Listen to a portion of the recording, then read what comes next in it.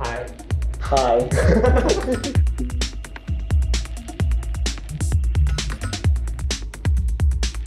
Great introduction. yeah, shit. Thank you, man. We're Wow. here. Of For, course. for the first Hungarian uh, Touching Bases uh, interview. I mean, first Hungarian artist. Crazy. After a list of uh, DJ Seinfeld, Melody, DJ Boring, Mm. Yeah, melody too. Melody too, on the internet. Wow. Translated into Hungarian. We will also translate this into Hungarian. Might say. Nagyszerű. But this is also for the international crowd, Yes. for the, the people outside of our wonderful country yes. to get to know a little bit more about you, just as much as we get to know a little bit more about you. Oh, Um, it's gonna be a really deep conversation. I can already feel it. it's getting deep. And uh, I interviewed Pepe today, who's, who's laying behind the, the couch on a mattress. But um, so, so my muscle, my interview muscle, maybe it's a little bit like, where'd it go? Cool. Um, so My yeah. talking muscles is is um it's gonna be alright too. I just need to drink this speech. Well, you've been you've been talking a lot these past couple of days, or uh, you've been, been your talking muscles uh, have they been? No. I mean like like my interview muscles because oh, it's been a while. yes. Well, this is um, it's been a while for me too. It's been roughly two hours. oh yes, it's a long time. Um, so, dude, I think I want to start by kind of going really back to um, to hear a little bit about where this musical journey really started for you. Um, All right. Kind of earlier days. If there was anything before electronic music, I heard some um, chatter of a band uh, Yes. in the past. Um, yes. Any other names in the past? So just if you could take us like a little bit back.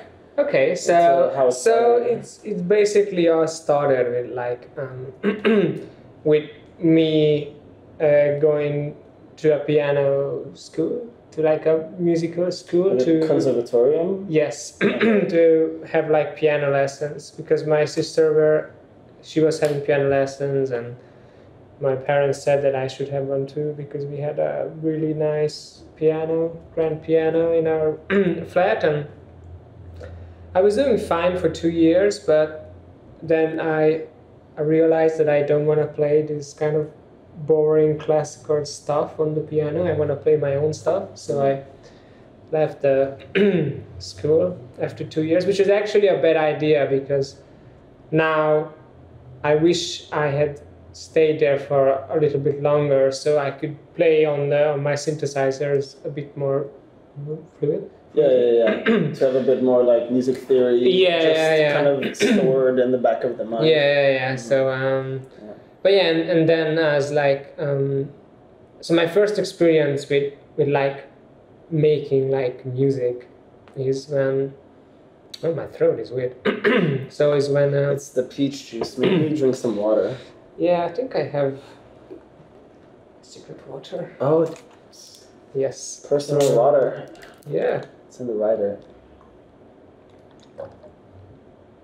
no, in my rider I actually have a bottle of Club Mate for improved performance.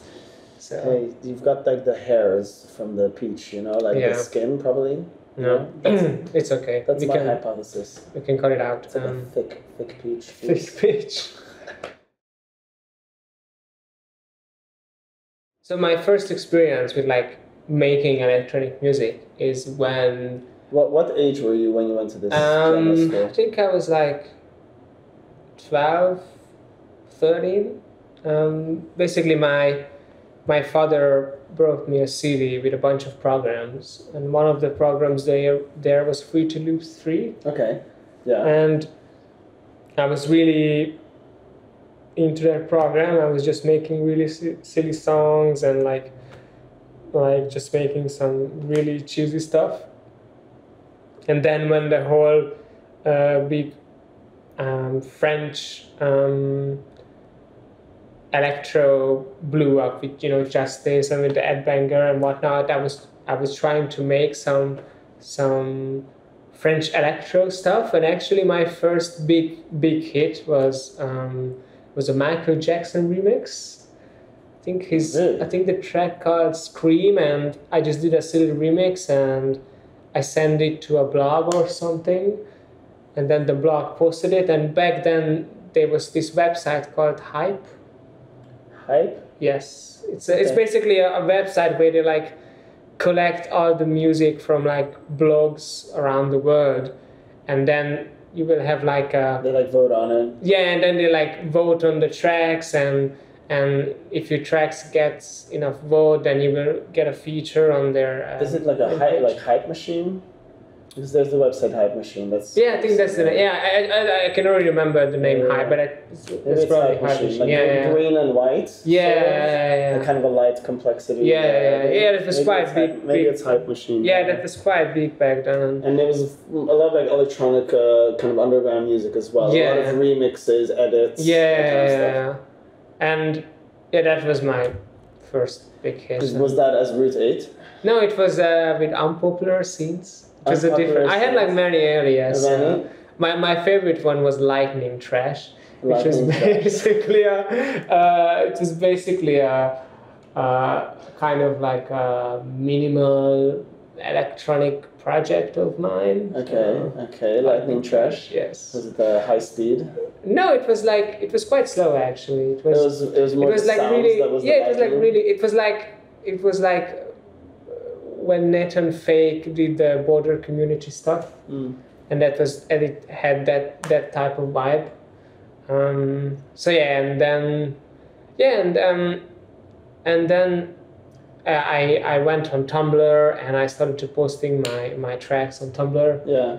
and Was this during high school years or? uh, it was I know it was it was it was after it was when I got to the university I Yeah. think and uh, yeah I, I met met some uh, I got some I met some friends on Tumblr and one of the guys was was Zoltan who was like who was like uh, making his own tracks as no pop kids.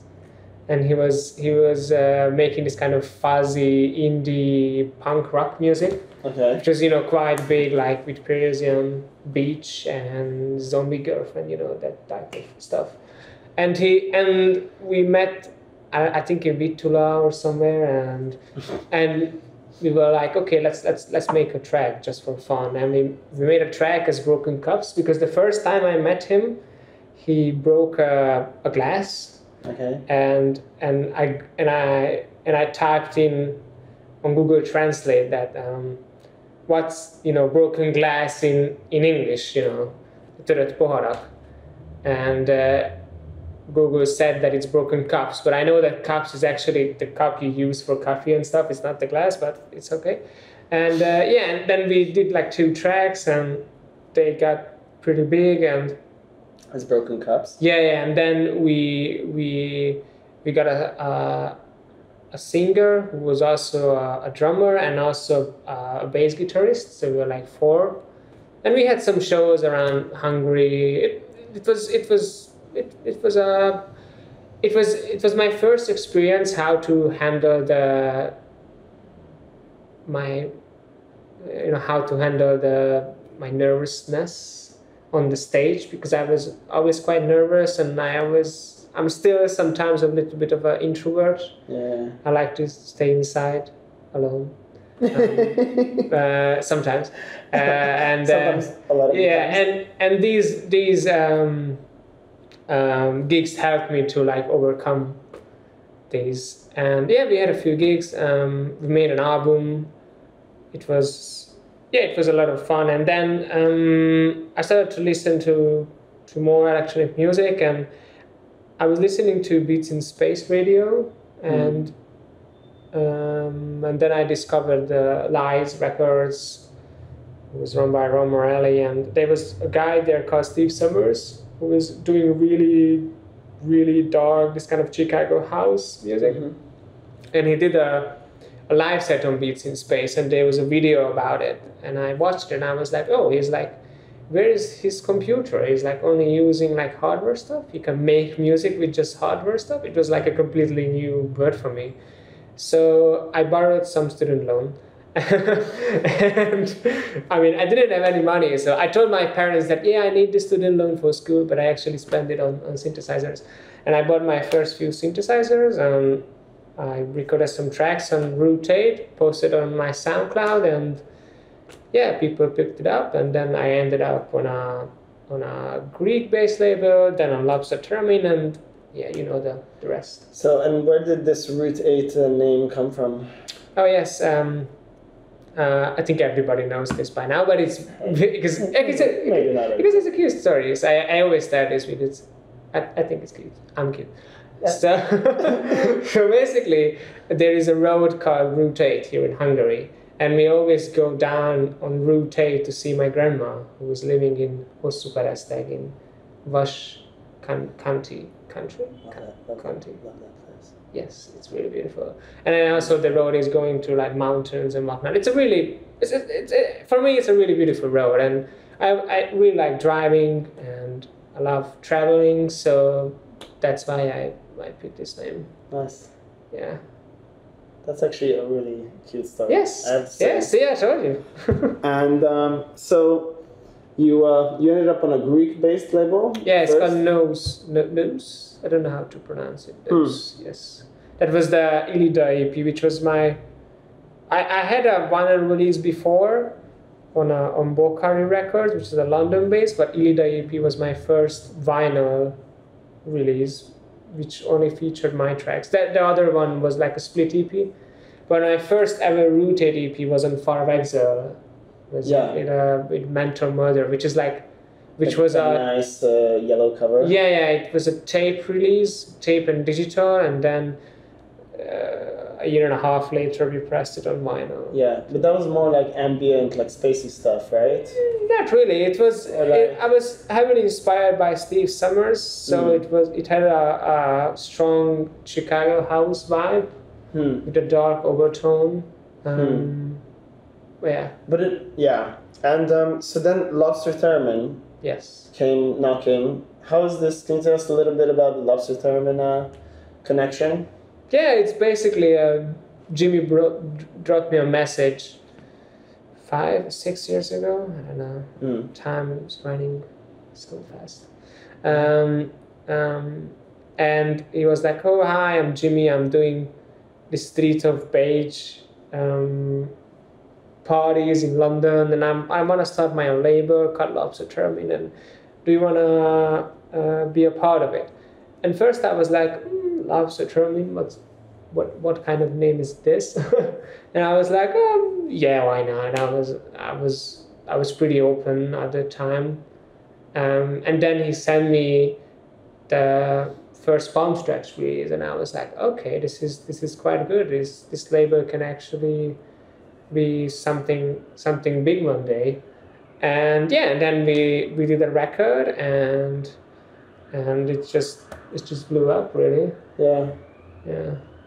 That's um, it's really quite nice because uh, then since then you've done like what is it, four releases on there? Yeah, the, the, the first one was was Dry thoughts. dry shots. Then I had like a, a limited pressing, ten minute long slow disco something. Cruising. Yeah, cruising. Yes, I can't remember the name. I haven't really. And then It's good. and then the yeah yeah it's good you're right. I, It's good to write it I. I, I had like I so many tracks like That, that, that's what I wanted to ask is that around that period when Jimmy found you or um, Yeah. so how did it look were you kind of uh, had a surplus of tracks that were kind of ready to go were you Yeah, was uploading things kind of more demo-ish and quickly to the internet that people were listening to Yeah, it's, I, I actually kind kind of miss those days because these days when I sit down on a new track, I so I, I usually overthink the track, um, and I also have a lot of stuff in mind that oh I need to make a track so I can get gigs, so I have money, so I can pay my rent. And back then I was like I just want to make some tracks. I like I don't care the quality, so that's why a lot of my tracks back then was like kind of in a lo-fi vibe. yeah yeah Um, quite lo-fi at the beginning. um, because I didn't care about the quality really. I just wanted to record, you know, fun tracks, and it was a lot of fun. so yeah, I had like I don't know, like like fifty tracks Wow. or something. Um, but then when that whole U.S. robbery thing happened, So t- tell us, tell us a little bit that about that whole order. oh yeah, oh yeah, it was, it was our first. When when when was this? Like time wise, this was uh, last year or No, it was- 2017, No, it was sixteen. 2016. Yes, yes, it was. Yeah, it was three three years ago almost. Yeah. Okay. Um, yeah, it was it was our first tour in America, and um, we landed in Detroit. This is a Lobster Theremin tour. Yeah, yeah, yeah, with Jimmy. We landed in Detroit. The promoter picked us up. we put everything in his car, and he was like, "It's quite late. Let's grab a dinner." And I was like, "Okay, yeah, let's go." And we parked the car to uh, next to the restaurant. We went inside, had a really nice dinner. Then we went outside, and then we saw there were like a lot of people there, and everybody was like, like uh, holding, you know, his hands. Everybody was like shocked and whatnot, and we see that some cars had a broken window, and we were like, "Oh shit, what happened?" Then they told us that, "Oh yeah, a lot of uh, some some some gang broke into these cars and they stole a lot of stuff." And then the, we slowly approached the promoter car, and we saw that there was like a, a dent on the on the pass on the driver's side door and then we opened the car and we saw and also the trunk and we saw that they, like they took everything. We had all of our stuff in the trunk and there was like nothing left.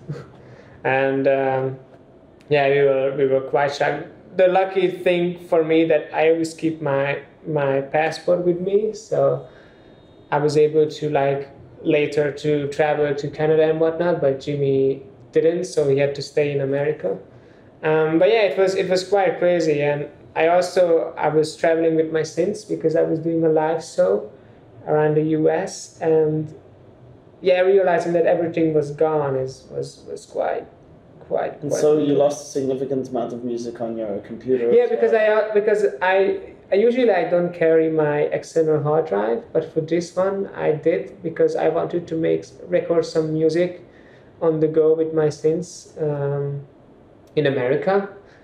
So I, I took my hard drive and yeah, I had everything there. So like 50 tracks, 50 unreleased stuff. Um, so yeah, um, that's why after the robbery happened, I needed some time to like to like uh, come up with some some new stuff. So that's why I had like a break with, with Route 8 for two years, I think.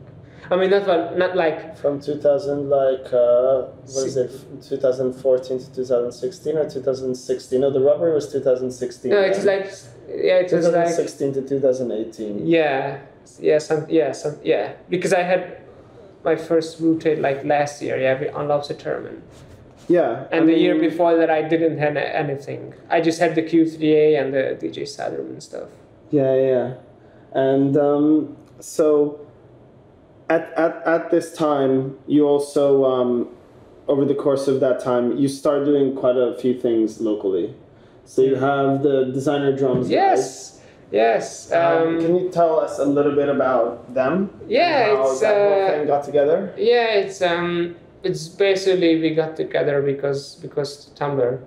That was Tumblr. yeah, Tumblr friends? yeah, we were following each other for a while, and and Gergu and Akos was the main, who is the main. They are the main guys behind Designer Drums. They they will know each other for a long time, and they wanted to start a like a like um, they wanted to do parties, Yeah. and Gergu was following my Shout out to Soundbank and Akoshwe. yes.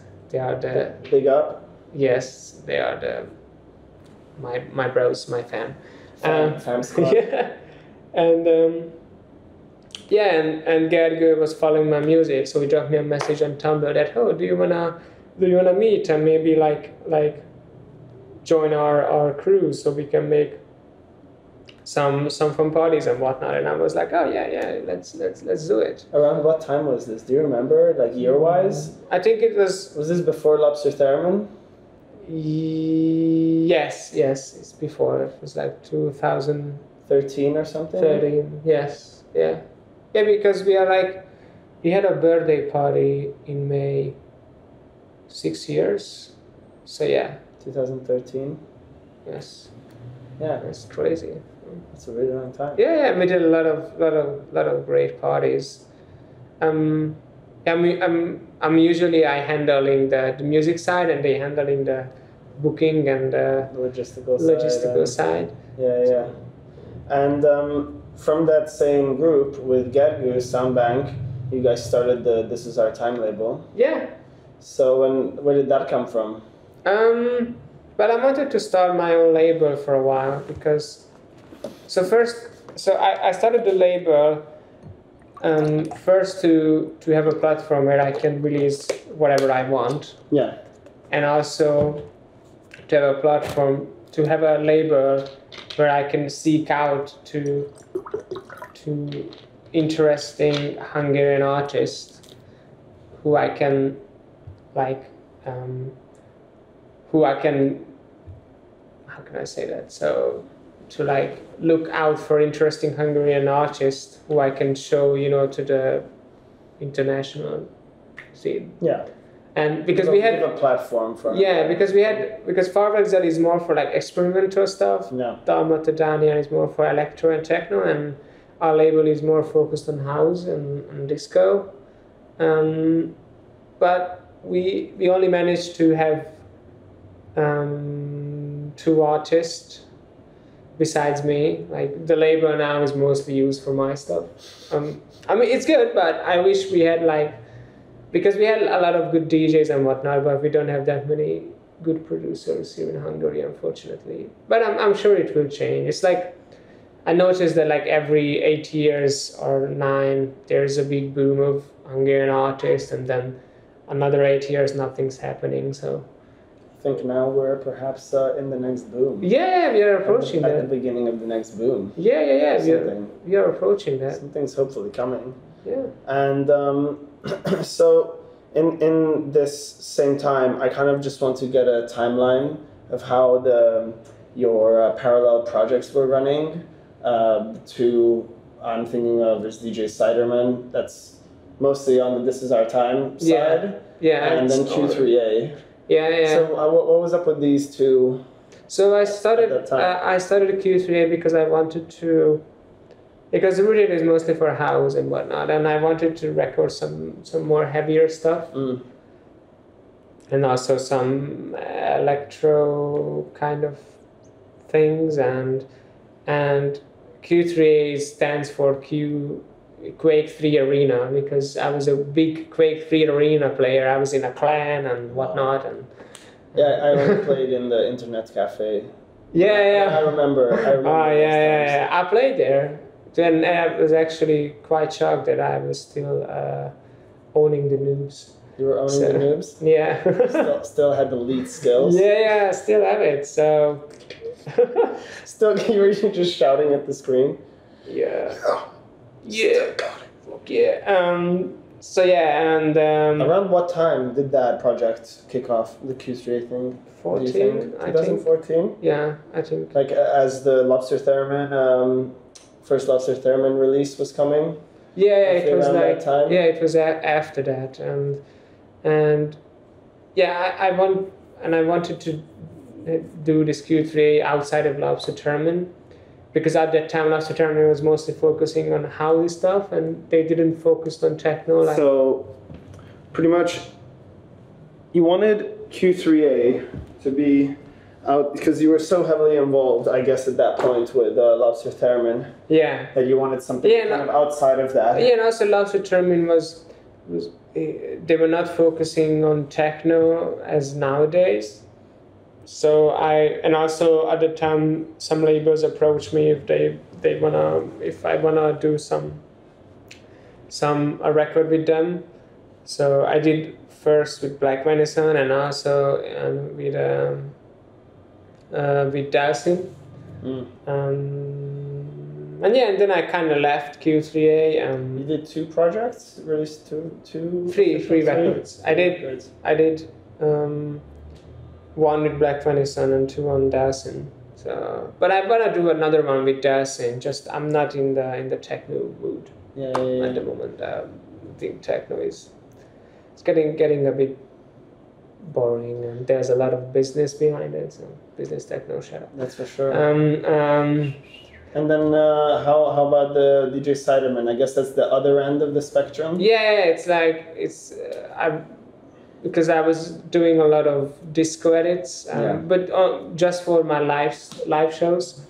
So I was like, oh, maybe I can release this somewhere, uh, and then I realized that the the edits I use, uh, they are like, so they are they are kind of, so they are well known tracks, and you know there's a lot of copyright infringement Yeah, yeah, involved.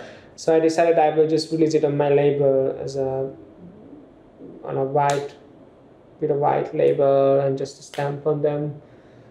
So kind of mysterious. So they want Just some uh, just some Yeah. edits. so they don't track me down. Just some uh, just some underground edits. yeah, yeah, yeah, yeah, yeah. And um, yeah, it was yeah, I did my first in in sixteen, I think. No, no, I did seventeen. No, I did. I did one on Lobs on a Lobster Theremin sub label. You gonna get it? Such a funny name. And then I did on my label on seventeen, and then last year I did another one, and I will have another one this year in September, which is a bit different because this one is basically so on this I will have a track from from a friend of mine, A- Aaron, and I have two DJ Ciderman tracks. They are really Italo disco heavy, and I will also have a track with Soundbang. We, we, we made a track together, so it's gonna be Nice. two tracks, Wow. four tracks, that- three that- tracks for me, and then Aaron. Is that a is that a both a debut for Adon and uh, Yeah, yeah, yeah, yeah, yeah. So they they are they're really Oh, sorry. bless you. They're really they're really talented producers. So, Nice. I'm very happy to hear that uh, Yeah. they're debuting. Yeah, yeah. And um, so, I mean, you, you you make quite a lot of music. You have these kind of three parallel. You have these three kind Yeah. of parallel things. But one thing that um, both me and the guys, uh, the team, really appreciate is that you seem to have a consistent amount of uh, mixes and radios, podcasts, or just like sets from parties uploaded in between all these releases. Oh yeah. Is this like a, a conscious thing for you? Uh, well, actually, I, I wish I can do more. Even more? More mixes. Um, I think I So only. we've seen you did like Sorry. like one a month this past like Uh, eight, yeah. eight months roughly. Yeah, yeah, It's because quite a lot for an Yeah. average. yeah, because I I um because the scene changed a lot. It's it's it's there are so many artists. There are so many music. You need to do something to stand out. It's not like when I started making music.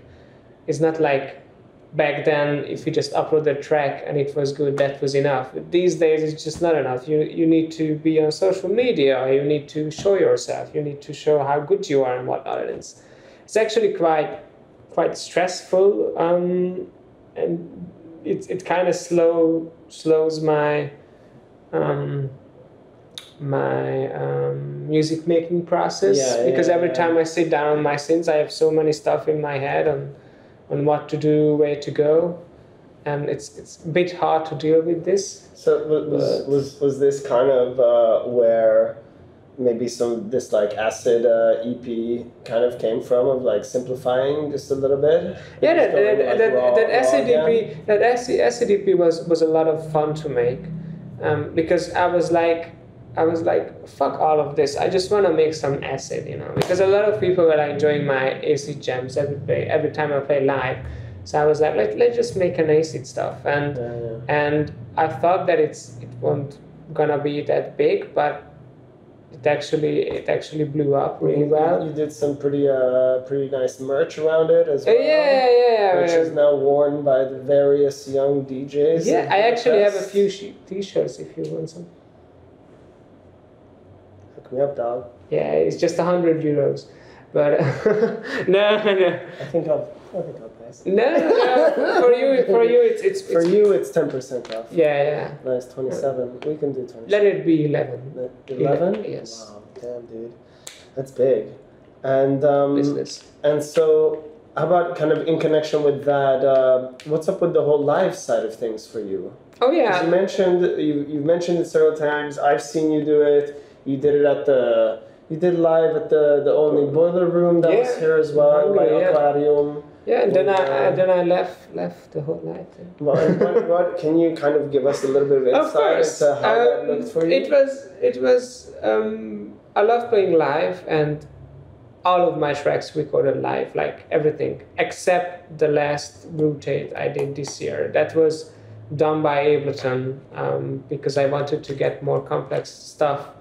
But I realized that working with Ableton is is boring. I don't know. It's just it's just not for me. I I it's like a lot of clicking and it was in Ableton you can control so many stuff that you can get easily overwhelmed and then you spend like like a week on adjusting the EQs and whatnot and it and it takes so much time. So Mm. I actually now I got back into making music live again just with my machines and samplers and and drum machines and, and synthesizers.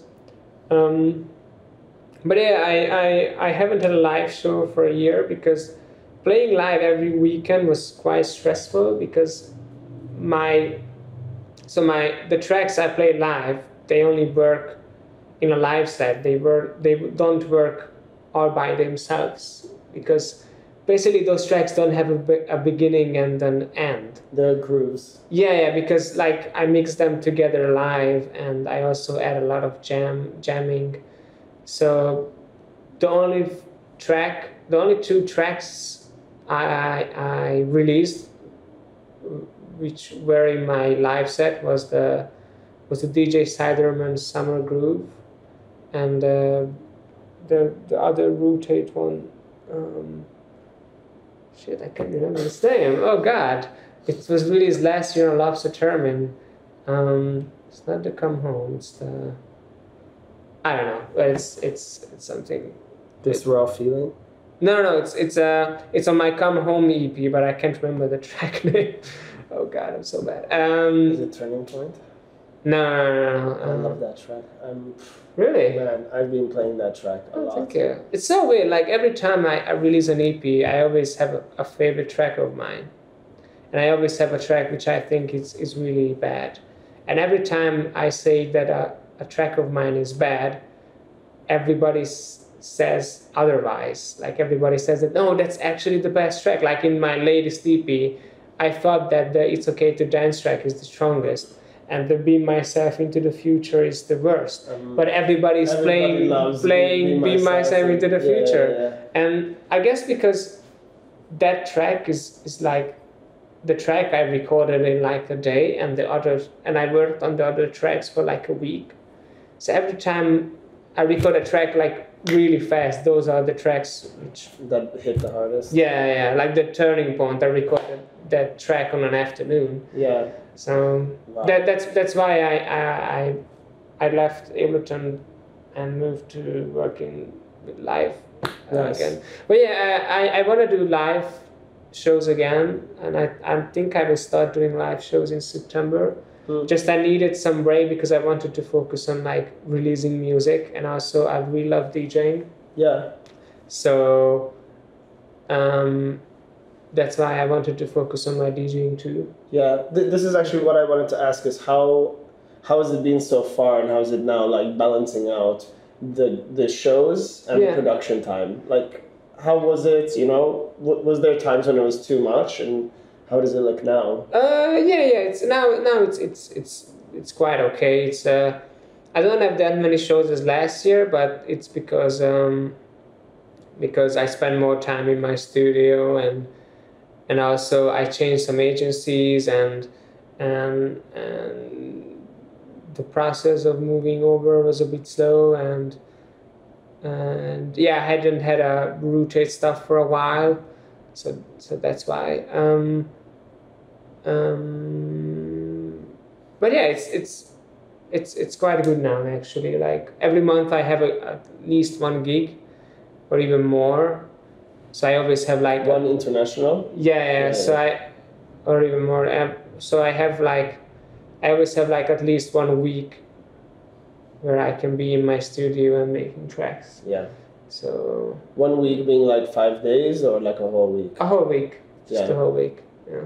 And um, and so um, at some point, do you do you want to do like significantly more, or is this like a pretty good balance for you? Uh, I want I want to do more actually. Um, I think it's good now that I don't have that many gigs because I really want to focus on my album.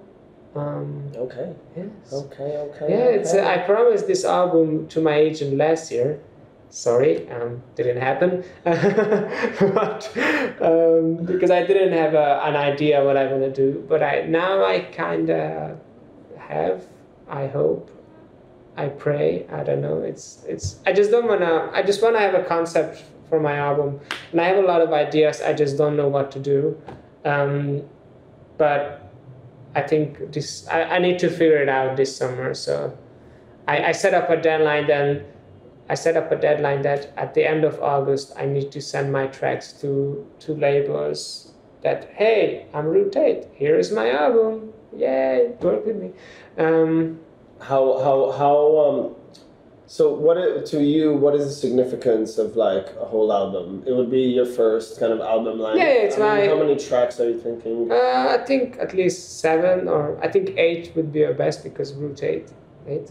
Um, I think Jesus, so. you have to. You have Yes. to do eight. Yeah, obviously. So um, Um, and would you like want to like tour the album? Do like an album tour? Yeah, like yeah. I mean, I, I- want to I wanna, I wanna build some, um, some shows around it. Also, I wanna make some, some live sets around it. Um, So it would be kind of this would now be more of a hybrid of the the pro- the produced stuff in the studio and the live. Um, kind, Live aspect kind of of. I mean, the thing is that um, uh, the the tracks I record in my studio, I can't really play them live because I use so many machines, and when I travel, I don't want to bring everything I have.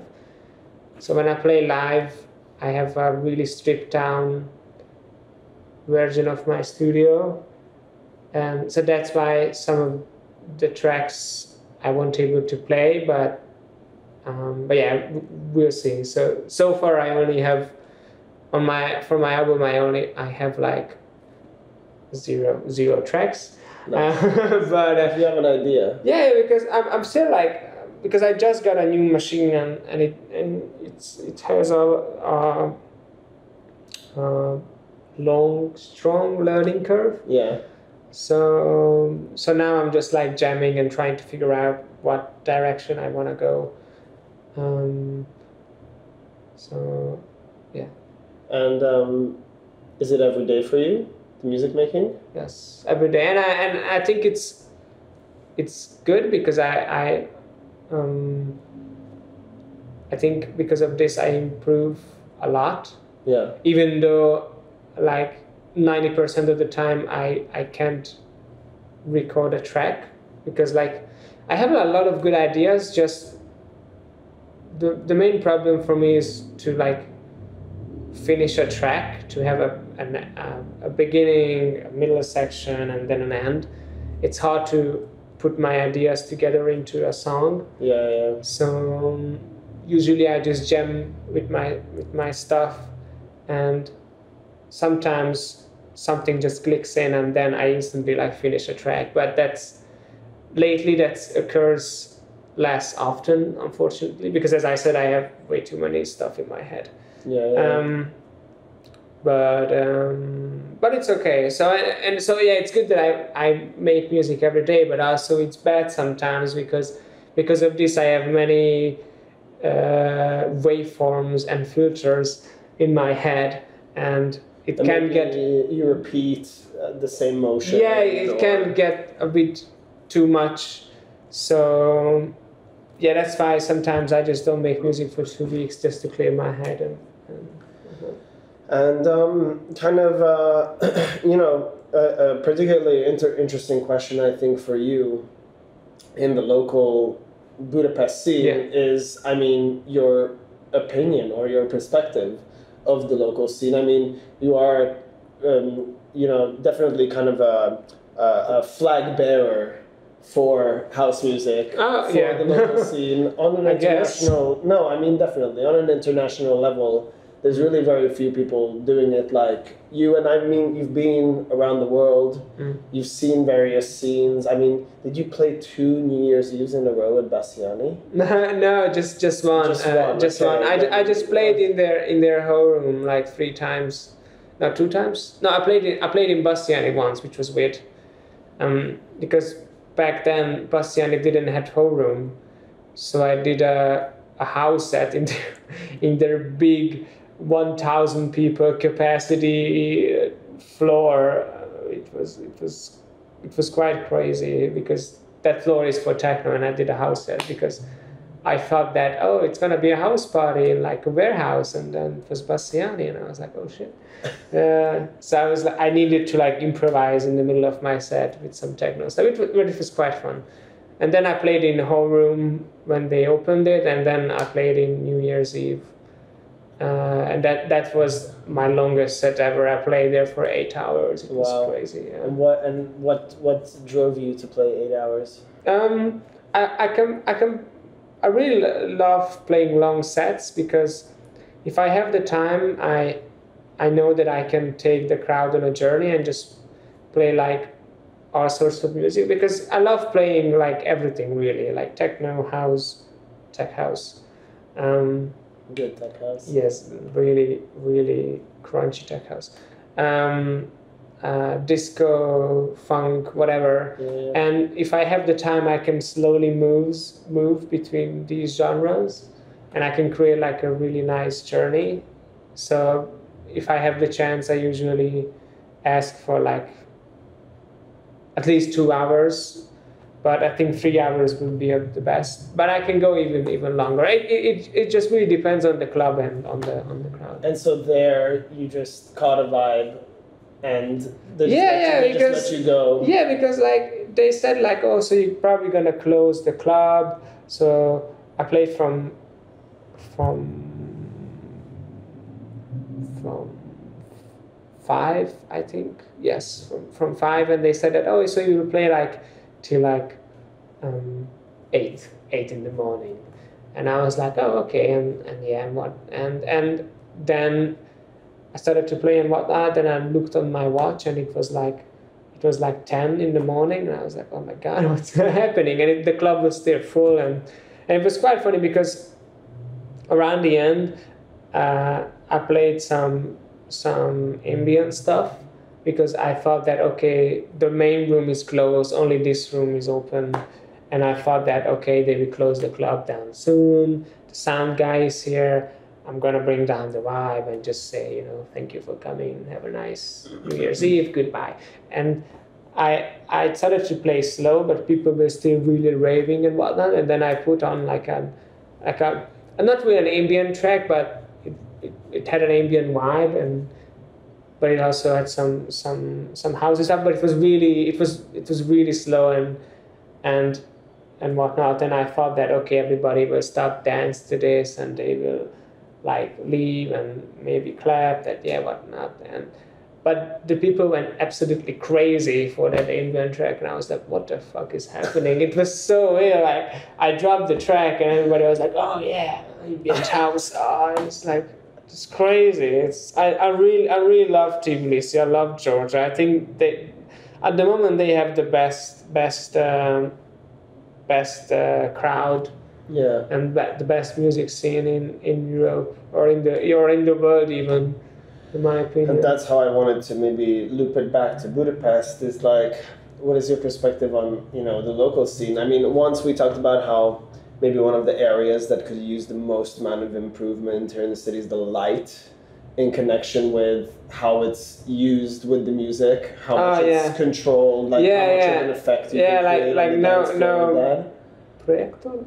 Yeah, yeah, no, no visuals, no like uh, projectors. Yeah, yeah, like yeah, yeah. Um, because it was quite popular here that every club had like a projector, Yeah, and I think it's I think it's not good because the, the projector takes away the the, the attention from the music. You just just look on the Mm. on the on the screen and just on the on the weird effects it has, or sometimes they put in a movie or something and just just just move your feet and just watching the the the thing on the on the wall. I think it's it's it's quite see what you mean. I can see what you mean. Yes. yeah, and I think it's it's it's it, it takes away the, the, the attention from the music. So that's why we we, we designed the drums. We said to Larm and also to Tordi that we don't want any of this. It's it's not good. Yeah. And yeah, and um, but but I think it's improved a lot in Larm and also in Tordi. I think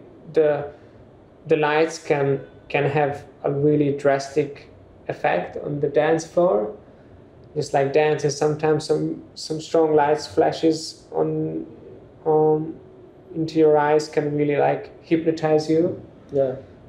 uh, so yeah that, that's that's a really really good Im- improvement uh, which was happily made. Um, Yeah. other improvements. But as i said i wish there would be more producers. And i think they're, they yeah and, and and i think they're they're slowly coming. Yeah, I think like so. like Lau, she's a really talented um, techno producer. She makes really, really, really interesting techno. Also, Marcy from Pizza Mora, he makes tracks too. PMR. Shout out PMR. Yeah. Shout out Lau. Yeah, We have Tsete Kidabo. yeah, He's it's doing some very interesting Uh, stuff. Reap, Reap Corbin Tete. Yeah, Um, yeah, yeah, he's he's really he's really good too, and I think Yes. the amount of um, events and uh, nice bookings and, and, and unique locations and like kind of the shout out to. the, mhm. shout out. hmm Mhm. Um, I think that's really improved, and I think the whole Mm. market has become higher quality in events. And Yeah. I think the crowd is more proactive now than maybe two years ago. Yeah, Um, yeah, But uh, and and I think that kind of the the pride that that brings, the sense of community that brings, I think that really empowers these new producers to kind of start uh, Yeah. st- start doing tracks. And I think more and more are now getting the appetite for it. yeah, and and yeah, as, as you said, I, I, I quite like it that a lot of people, especially you, uh, you have like really interesting parties in really amazing locations, and I think it's it's really good because at the moment we only have like Larm and and Tordi, which is which is good for this kind of music, and there are no other pl- places really, or maybe or maybe Premier Club or Iparama, but that's dangerous. so um, so and and I always wish that that uh, that other club um, uh, open, but you know that one. Uh, Yeah, I mean th- that is really perhaps one of the the, the most uh, that's the, the biggest lacking thing in this uh, city is just interesting locations and Yeah. also locations where I mean where I the think- sound where the sound can be I on- think on that I think it's not. I think I think the city has a lot of interesting uh, places. I don't think that the problem is the place. I mean, so the the thing is, I wish we had like at least another club like Larm or Toddy, uh, because I think the scene is getting big enough to handle another one. Uh, but we have a lot of uh, interesting scenes where we can where you can throw parties. Um, and I don't think the problem is the the locations, or maybe it is. It's it's a little bit hard to get these locations, but It's I think really but but I think the, the the the other big problem is to to bring people to these locations because a lot of people they just want to dance like around this this, area, this, uh, yeah, the, the city center area. and and they don't want to go out further. Um, but I think it's it's a, it's slowly changing a little bit. I think it's like improving I, a little yeah, bit. like like like you did that party at Flashback, which is like Flashback. kind of outside. that that hopefully we're, we're Yeah. maybe we can do the trying to place the this is our time label night also in a nice Mm-hmm. place. Be able to look out for that one, guys. yes. Um, but yeah, I think um, I think I think it's right what you're saying. It's more about convincing people that Yeah. uh, that this thing is unique. I mean, that's what we try to do with uh, the the pretty graphics and the pretty Mm. media and and um, and the kind of extra uh, maybe information that we provide and awareness. I think it's I think it's easier to do these when uh, in, in like spring and, and summer uh, rather than in winter. I think it's it's way more difficult to doing this in winter, no? The the like alternative venues. Yeah. During the summer, well, outside, yes, but the problem with outside is the weather, man. Yeah. Then the weather really can mess with you. Yeah. That's how we had to postpone like two Oh, yeah. this one event like twice because of the flood. Yeah, yeah, because of the Yeah. flood, and then and the first time because of the the storm, Mm. and the, the it's more like the we need to change um, the city's perspective a little bit on electronic music. I think when, when people in the city hear the word electronic, they they go they they they are so scared. They just think about really loud techno. When we talk to a lot of these alternative venues, that's the thing that they just think it's risky, you know, and they don't understand that there's all this new kind of wave of like civilized, uh, really quite cultured. Mm. Yeah, yeah, I guess because they they see that oh, so it's electronic music, so it's like the the, the drunk to- tourist we have on Yeah, Kiraica. they think about that, or they, Yeah. they think about the other kind of mega clubs that are really, you know, playing a lot of watered down music from Yeah, the last it's it's 15, it's, 20 it's still a years. it's still a small scene we we uh, Absolutely. we are. Absolutely. but it's but it's getting bigger and and is. it's I'm really I'm so happy to see the that the next generation is interested in this. So um, We're very happy that uh, you guys kind of uh, paved the way a little bit. oh yeah, Not a little we- bit, quite a bit, Yeah, because- we, we tried. Yeah. Man, when the the first uh, when I was first uh, even thinking about doing something like this or, or started the first parties, I Mhm. mean, uh, I remember it was um, I think it was Akos, uh, your organizing partner Mhm. from Designer Drums, who uh, recommended Pizza Mora for me. Mm. Um, so that's how I met Pizza Mora, for Really? example. Oh, yeah, that's and, and I mean, uh, when I was, you know, looking at the, the kind of promoter pages uh, from the city, it was like you guys that were one of the main examples. Uh, Mhm. and seeing posters, this kind of stuff. So all of these impulses really mattered.